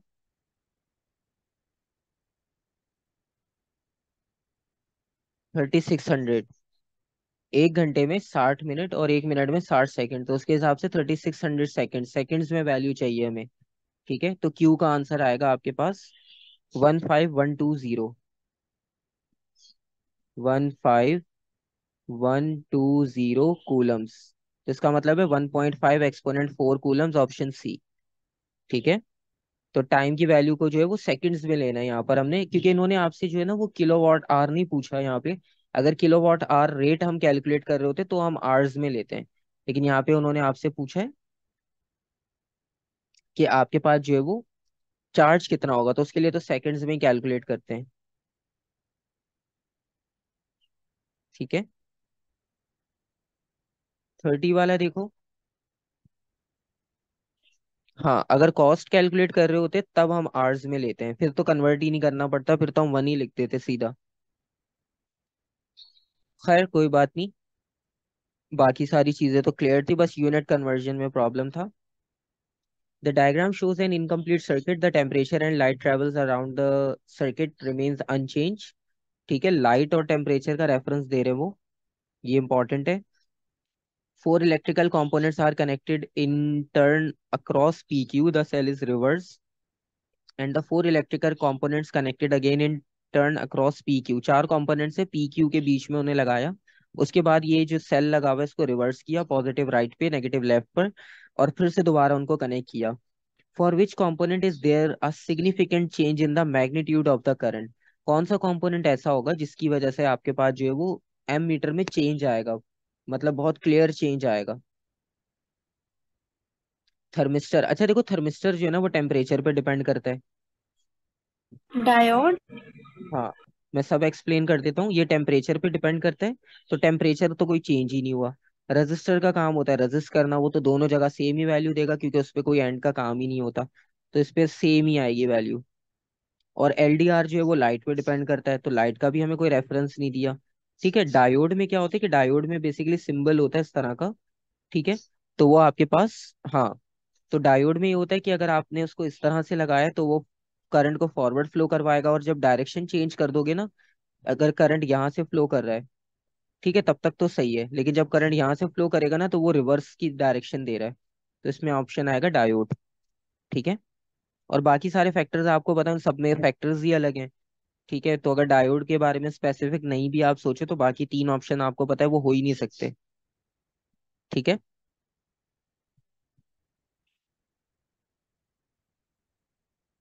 ठीक है, इसमें ये है कि दो एमीटर लगे हैं हमारे पास स्विच एस इज़ क्लोज इसको हमने क्लोज कर दिया सर्किट कंप्लीट हो गया. बिल्कुल सही. तो अब आपने ये बताना कि विच रॉ इज़ करेक्ट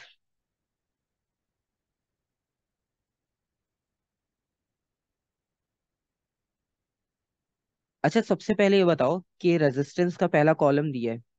तो रेजिस्टेंस के कॉलम के हिसाब से आप ये देखो कि जब हमने एस को क्लोज कर दिया तो पूरे सर्किट की रेजिस्टेंस बढ़ जाएगी या कम हो जाएगी? सबसे पहले तो ये बताओ फिर हमारे पास ऑप्शन फिफ्टी फिफ्टी हो जाएँगे। अच्छा दोनों अगर सर बढ़ जाएगी दूसरा वो जो टाइम वो जो करंट होता है वो सेम रहता है तो सी आंसर आता है। अच्छा देखो अब आपने पता है क्या मिस्टेक की है अगर मैं सर्किट को अलग करके बनाऊँ स्विच हटा दो। स्विच अगर मैं हटा दूँ तो रेजिस्टर का कॉम्बिनेशन ऐसा बन रहा है। तो ये कौन सा कॉम्बिनेशन है? पैरेलल तो पैरेलल में रेजिस्टेंस इंक्रीज होती है डिक्रीज होती है। डिक्रीज हो जाएगी। पूरा सर्किट छोड़ के सिर्फ़ रेजिस्टर का कॉम्बिनेशन देखो तो रेजिस्टर आपस में पैरेलल कंबाइन है। पैरेलल कंबाइन होने का मतलब है डिक्रीज तो सी और डी तो कैंसिल हो गए। दो ऑप्शंस रह गए। अब बाकी बारी है पैरेलल कॉम्बिनेशन में आपको पता है वोल्टेज सेम होता है करंट डिवाइड हो जाता है। ऐसा ही है। तो इसका मतलब ये कि ए वन और ए टू की वैल्यूज़ जो है वो आपके पास सेम तो नहीं रहेगी।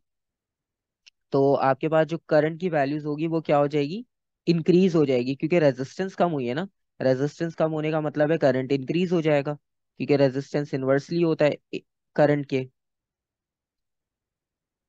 ठीक है? रेजिस्टेंस अगर कम हो रही है तो करंट आपके पास बढ़ जाएगा। तो इसका मतलब है ऑप्शन क्या होना चाहिए? बी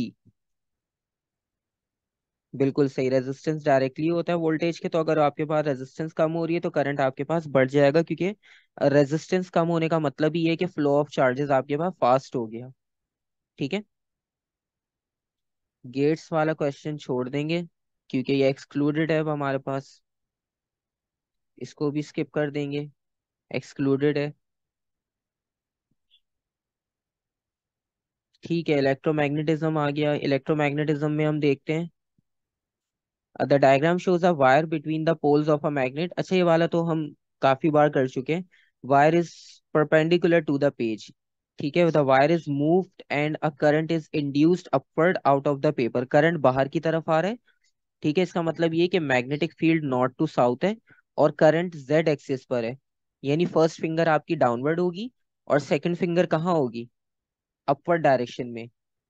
तो इसका मतलब ये कि करंट जो है बेसिकली अच्छा जेड एक्सिस जो सॉरी मैग्नेटिक फ़ील्ड जो है वो कौन से एक्सिस पर है? वाई सबसे पहले एक्सिस देख लेते कि हमारा आंसर कौन से एक्सिस में होना चाहिए।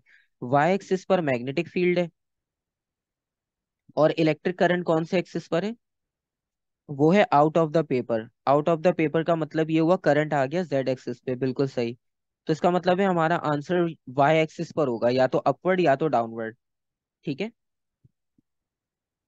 मतलब आपके पास सॉरी एक्स एक्सिस में आंसर होगा या तो राइट या तो लेफ़्ट तो इसका मतलब है हम अप और आउट सर ए आ रहा है राइट टू लेफ़्ट हाँ इनको हम कैंसिल कर देते हैं बिल्कुल सही। अब आपने पता है क्या करना है आप लेफ़्ट हैंड रूल यूज़ करोगे और लेफ़्ट हैंड रूल के अकॉर्डिंगली आप क्या करोगे कि आपकी जो फ़र्स्ट फिंगर होगी वो डाउनवर्ड होनी चाहिए ठीक है?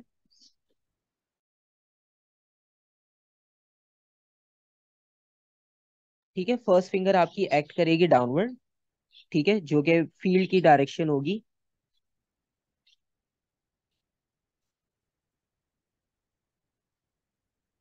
और जो सेकंड फिंगर होगी आपके पास, वो किस डायरेक्शन में होनी चाहिए?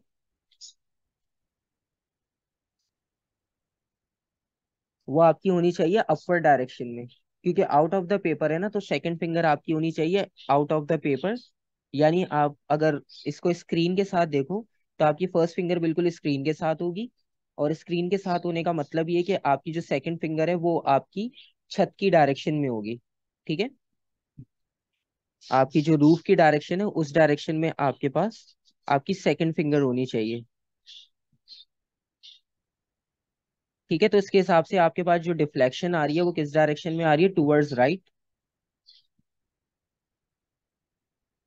ठीक है।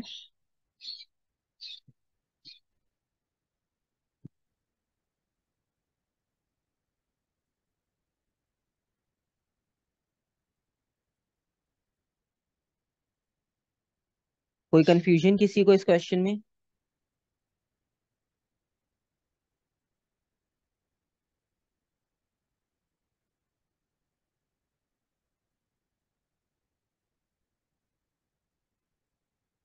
अच्छा देखो, अगर इसमें प्रॉब्लम होती है ना आपके पास, नॉर्मली क्या होता है कि हमें मूव करने में ना फिंगर्स को प्रॉब्लम होती है क्योंकि लेफ़्ट हैंड रूल होता है और ट्विस्ट करना इसमें थोड़ा सा प्रॉब्लम होता है, ठीक है?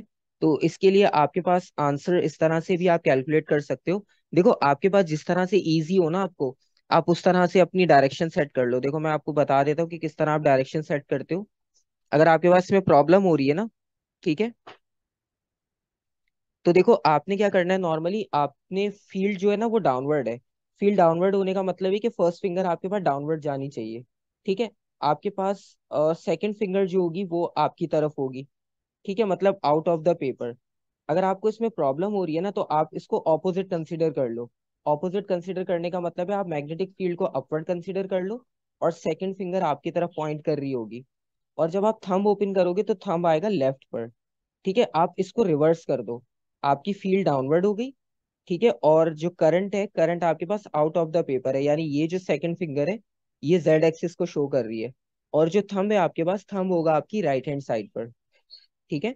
तो फ़ील्ड और सेकंड फिंगर आपके पास आउट ऑफ़ द पेपर ठीक है? क्योंकि स्क्रीन से बाहर की तरफ़ है मेरी सेकंड फिंगर और जो थंब होगा आपके पास थंब आपके पास टूवर्ड्स राइट हैंड साइड है, ठीक है? तो ये ओरिएंटेशन बनेगी। क्लियर है यहाँ तक? ठीक है आपने ओरिएंटेशन वही रखनी होती है लेफ़्ट हैंड की लेफ़्ट टू राइट नहीं आ रहा। मतलब वही left to right in which direction the wire moved left to right अच्छा इन्होंने लेफ़्ट टू राइट और राइट टू लेफ़्ट लिखा हुआ है। अच्छा इसमें बेसिकली अभी जो हमने डायरेक्शन देखी है वो डायरेक्शन हमारे पास राइट आ रही है। ठीक है? राइट आ रही है इसका मतलब left right to to right left हुआ ना? कि राइट की तरफ़ जा रही नहीं है? राइट से लेफ़्ट आएगी। क्योंकि आपके पास देखो पहले राइट पर जाएगा वो फिर जब मैग्नेटिक करंट जब वो फ़ील्ड से बाहर चला जाएगा देखो पहले वो गया राइट पर ठीक है? अब जब वो राइट पर गया ना तो फ़ील्ड से बाहर आ गया। जब फ़ील्ड से बाहर आ जाएगी वायर तो अब उसको फ़ील्ड नहीं मिल रही इलेक्ट्रोमैग्नेटिज्म का फिनोमिना खत्म हो जाएगा। ठीक है? फिर वो कहाँ पर जाएगा? वापस लेफ़्ट पर। ये ऑप्शन दिया हुआ है इस तरह से। ठीक है? ओके सर यानी वैसे जो मैं कह रही हूँ ठीक है ना कि वैसे आपकी हैंड की ऐसे अगर डायरेक्शन तो यही है मूवमेंट के हिसाब से तो left left to to right right आ रही है राइट की जी। तरफ़ जा रही है लेकिन राइट को वो जैसे पॉजिटिव नेगेटिव है तो इस तरह वो राइट को लेफ़्ट की तरफ़ जाएगी बिल्कुल। आगे फर्दर हाँ तो वो पहले राइट की तरफ़ जाएगा फिर जब उसको मैग्नेटिक फ़ील्ड नहीं मिलेगी तो वो वापस आ जाएगा लेफ़्ट पर। ये कॉन्सेप्ट है। और उसके बाद उन्होंने दिया हंड्रेड परसेंट एफिशिएंट ट्रांसफॉर्मर्स है वो कन्वर्ट कर रहा है टू फोर्टी वोल्ट को। ये इनपुट है, इसको प्राइमरी लिख लेते हैं और ये आपका आउटपुट है, इसको हम सेकेंडरी लिख लेते हैं। The output power of the transformer can be maximum of twenty ये आउटपुट पावर दी हुई है, यानी सेकेंडरी की पावर है। और दो बल्ब्स हैं आपके पास। ये करंट की वैल्यू दी हुई है। पैरल में कंबाइन है। और एक बल्ब आपके पास फ्यूज हो गया। तो अब वो कह रहे हैं how does the current in the primary coil changes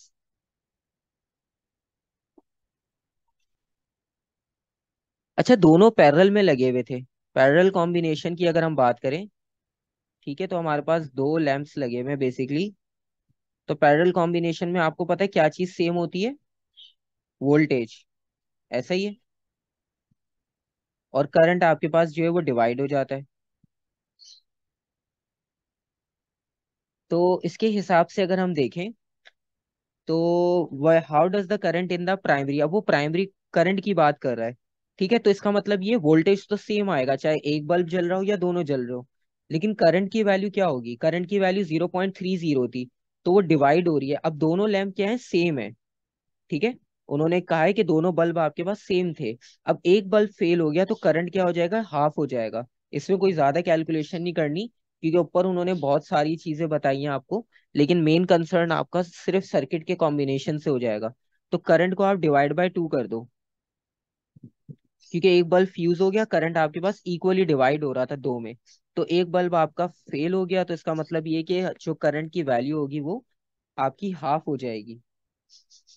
अब सिर्फ़ हमारे पास एक जगह से करंट फ्लो कर रहा है, क्योंकि ऊपर वाला आपके पास फेल हो चुका है। ठीक है?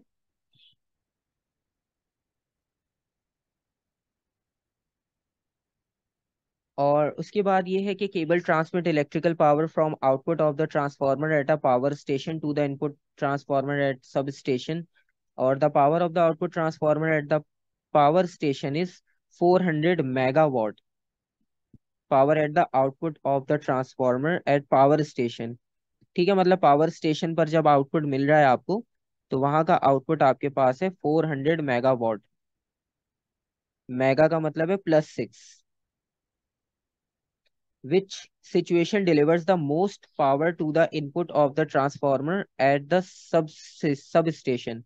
यानी वो यहाँ की बात कर रहा है कि आपके पास सब स्टेशन पर आने के लिए आपके पास कौन सा इसमें से ऑप्शन ऐसा है कि जो मोस्ट पावर डिलीवर करेगा। अच्छा potential difference at power station transformer output kilowatt अब किलोवाट में इन्होंने दिया हुआ है पोटेंशियल डिफरेंस और डायमीटर ऑफ़ केबल अच्छा इसमें आपको याद होगा कि हमने पढ़ा था कि जब हम लॉन्ग ट्रांसमिशंस करते हैं तो लॉन्ग ट्रांसमिशंस में हम क्या करते हैं कि रेजिस्टेंस की वैल्यू को कम रखा जाता है। तो रेजिस्टेंस को कम रखते हैं इलेक्ट्रिक करंट को कम रखते हैं वोल्टेज को हाई रखते हैं। ठीक है, ये याद है ना आपको? लॉन्ग ट्रांसमिशंस के लिए पढ़ा था हमने। तो अगर हम इन फैक्टर्स को देखें तो इन फैक्टर्स के अकॉर्डिंग हमें वोल्टेज क्या रखना है? हाई रखना है। तो इसका मतलब है कि टू हंड्रेड तो हम नहीं लेंगे। क्योंकि वोल्टेज हमारा जो है वो क्योंकि लॉन्ग ट्रांसमिशन में आपको याद होगा कि लॉन्ग ट्रांसमिशन में वोल्टेज हाई इसलिए रखते हैं ताकि आपके पास करंट और रेजिस्टेंस को लो रखा जाता है क्योंकि ट्रांसमिशन लो है ना। सॉरी ट्रांसमिशन लेंदी है। तो हमारा जो वोल्टेज डिजायर्ड वोल्टेज है वो कम ना हो जाए क्योंकि ट्रेवल करते हुए आपके पास हीट लॉस होता है। हीट में आपके पास एनर्जी लॉस होती है ठीक है? तो उसके लिए वोल्टेज हाई रखते हैं ठीक है? ताकि हाई पोटेंशियल और लो पोटेंशियल का डिफरेंस आपके पास जितना ग्रेटर होगा तो उतनी आपके पास सप्लाई एफिशिएंट होगी ठीक है? और दूसरी बात ये कि पावर लॉस कम हो जाएगा, ठीक है? तो बेसिकली लॉन्ग ट्रांसमिशन में देखो, ये तीन चीज़ें आप हमेशा याद रखना कि लॉन्ग ट्रांसमिशन में रेजिस्टेंस कम होती है इलेक्ट्रिक करंट कम होता है और वोल्टेज हाई रखा जाता है, ठीक है? क्योंकि इसमें जो फॉर्मूला यूज़ होता है ना, वो V is equals to I R से हम रिलेट नहीं करेंगे। इसमें हम रिलेट करते हैं पावर के फॉर्मूला से। आपको याद होगा पावर के तीन फॉर्मूला लिखा था मैंने, P is equals to V I होता है, फिर हम उसमें ओम्स लॉ अप्लाई करके तो एक फॉर्मूला हमने ड्राइव किया था वी स्क्वायर अपॉन आर तो वोल्टेज आप हाई रखो तो वोल्टेज हाई रखने से क्या होगा कि वो स्क्वायर हो जाएगा, और पावर आपके पास उतनी ज़्यादा इंक्रीज हो जाएगी। और रेजिस्टेंस कम रखी जाती है, क्योंकि वो और कम होगी तो पावर और इंक्रीज हो जाएगी। तो मैक्सिमम पावर हमें मिल रही होती है, ठीक है? वो भी यही कह रहे हैं कि मोस्ट पावर तो मोस्ट पावर का मतलब ही यही है कि आपके पास वोल्टेज बहुत इंक्रीज मैक्सिमम रखना है हमने, और दूसरी बात ये कि आपका जो रेजिस्टेंस है वो कम रखनी है।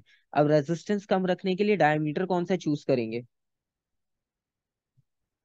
डायमीटर को हम लार्ज रखेंगे, क्योंकि आपको याद होगा R is equals to rho L upon A के अकॉर्डिंग जो एरिया है अगर हम एरिया बढ़ाते हैं तो रेजिस्टेंस कम होती है। इसका मतलब डायमीटर हमें लार्ज चाहिए ऑप्शन सी ठीक है?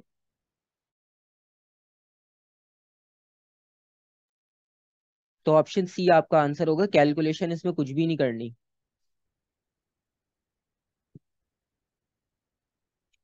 रेडियो एक्टिविटी आपके पास इसमें यूरेनियम है, फिर लेड दिया हुआ है इन्होंने। During the chain of decay how many proton and how many neutrons are lost from a single nucleus of uranium to a single nucleus of lead तो इसमें से यहाँ से लेकर यहाँ तक बताने कि कितने नंबर ऑफ़ प्रोटॉन आपके पास लॉस हुए। टेन हुए, ठीक है, क्योंकि ninety two minus eighty two करेंगे तो टेन नंबर ऑफ़ प्रोटॉन हमारे लूज हुए, ठीक है। और नंबर ऑफ़ न्यूट्रॉन्स की अगर हम बात करें तो नंबर ऑफ़ न्यूट्रॉन्स आपको पता है कि पहले आपको इसका अलग नंबर ऑफ़ न्यूट्रॉन निकालना है और फिर यहाँ से अलग तो यहाँ से आप माइनस करके निकालो। कितने नंबर ऑफ़ न्यूट्रॉन्स होंगे यहाँ पर? और यहाँ पे नंबर ऑफ़ न्यूट्रॉन्स निकालो कि एक्चुअल कितने होंगे। फिर हम उनका चेंज फाइंड करेंगे। आ, पहले वाले का आ रहा है two thirty five minus ninety two यहाँ पर आ रहे हैं इनिशियल वन फोर्टी थ्री और यहाँ पर आ रहे हैं आपके पास वन ट्वेंटी फाइव तो ये तो थे इनिशियल ठीक है? और इसमें आपके पास डिफरेंस देखो कितना बन रहा है? One forty three minus eighteen का डिफरेंस बन रहा है। इसका मतलब है ऑप्शन ए आपके पास इसमें राइट होगा, क्योंकि नंबर ऑफ़ न्यूट्रॉन्स आपके पास इतना चेंज हो गए ठीक है? और उसके बाद है radio active material has a half life of twenty days half life की वैल्यू दी हुई है आपको। उसके बाद ये है कि सैंपल कंटेन्स इतने एटम्स और how many atomic nuclear have decayed after sixty days sixty days का मतलब ये, अब सिक्सटी डेज़ का मतलब ये कि कितनी हाफ़ लाइफ हो जाएँगी आपके पास? तीन हाफ़ लाइफ हो जाएँगी, ठीक है?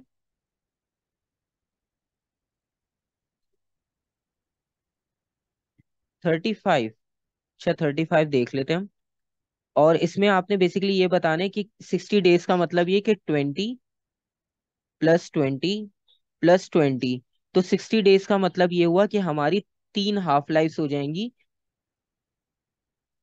सिक्सटी डेज़ में ट्वेंटी ट्वेंटी के हिसाब से, ठीक है? तो हम क्या करेंगे, इसको तीन बार डिवाइड करेंगे तो आपके पास एट एक्सपोनेंट टेन को आप डिवाइड करो बाय टू ठीक है? इसका जो भी आंसर आएगा, उसको आप फिर से डिवाइड बाय टू करोगे। फिर आपके पास जो भी आंसर आएगा, उसको एक और बार डिवाइड बाय टू करोगे तो आपकी तीन हाफ़ लाइफ कंप्लीट हो जाएँगी। ठीक है? तो उसको डिवाइड करने के बाद आपके पास जो फाइनल आंसर होगा, वो क्या आएगा? वो आपने बताना है। ठीक है? डी आ रहा है या ए आ रहा है? इसको चेक कर लेना। ठीक है, मैं भी एक मिनट कैलकुलेट करके देख लेता हूँ। मैं आंसर्स भी लिख देता हूँ ताकि कंफ्यूजन ना हो।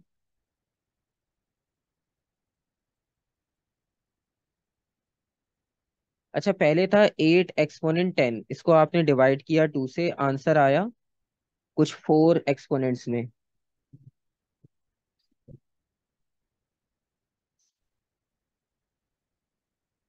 अब इसको डिवाइड बाय टू करेंगे तो आपको पता है कि आंसर क्या आएगा।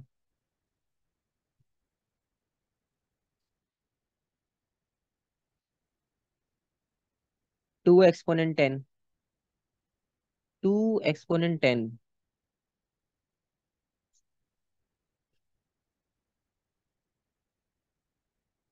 और अब इसको तीसरी बार डिवाइड करेंगे। वन एक्सपोनेंट टेन आ रहा है।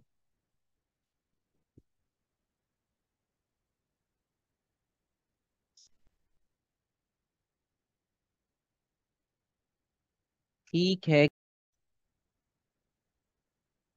अच्छा तो इसमें तीन हाफ़ लाइफ्स का मतलब है कि हमने इसको तीन बार डिवाइड कर लिया बाय टू और हमारे पास आंसर आ रहा है वन एक्सपोनेंट टेन ठीक है?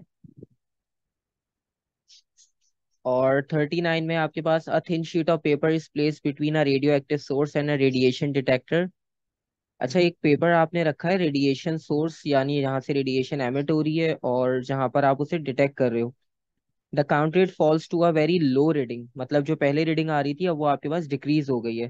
From this result which type of radiation is the source emitting अब कौन सा सोर्स एमिट हो रहा है ये आपने बताना है। पेपर का उन्होंने आपको रेफरेंस दिया है, और रेडिएशन आपके पास जो है, वो डिक्रीज हो रही है। तो रेडिएशन डिक्रीज होने का मतलब ये हुआ कि हमारे पास अल्फ़ा पार्टिकल होगा, क्योंकि अल्फ़ा पेपर से स्टॉप हो जाता है। ठीक है? तो अल्फ़ा पार्टिकल्स इसका आंसर होगा क्योंकि बीटा और गैमा तो इजीली क्रॉस कर लेंगे तो उनमें तो रेडिएशन आपकी डिक्रीज नहीं होगी। तो अल्फ़ा में रेडिएशन आपके पास नंबर ऑफ़ काउंटिंग डिक्रीज हो जाएगी, क्योंकि वो पेपर से स्टॉप हो सकता है। और लास्ट में कि alpha beta gamma are emitted by radio active nuclei when they decay which emission can be deflected by an electric field अब वो पूछ रहे हैं कि कौन सी आपके पास रेडिएशन ऐसी जो डिफ्लेक्ट हो जाती है बाय इलेक्ट्रिक फ़ील्ड बस ये बताना है। तो बहुत ईजी आपको पता है अल्फ़ा और बीटा डिफ्लेक्ट होते हैं। अल्फ़ा नेगेटिव की तरफ़ डिफ्लेक्ट होता है और बीटा जो है वो पॉजिटिव की तरफ़ डिफ्लेक्ट होता है। और बाकी मैग्नेटिक फ़ील्ड में तो हम लेफ़्ट हैंड रूल यूज़ करते हैं। ठीक है? और गैमा स्ट्रेट चला जाता है। ठीक है तो ये आपके पास क्वेश्चन था। कंप्लीट इसमें ये था कि क्वेश्चंस आपके पास थोड़े मतलब डिटेल्ड थे सारे।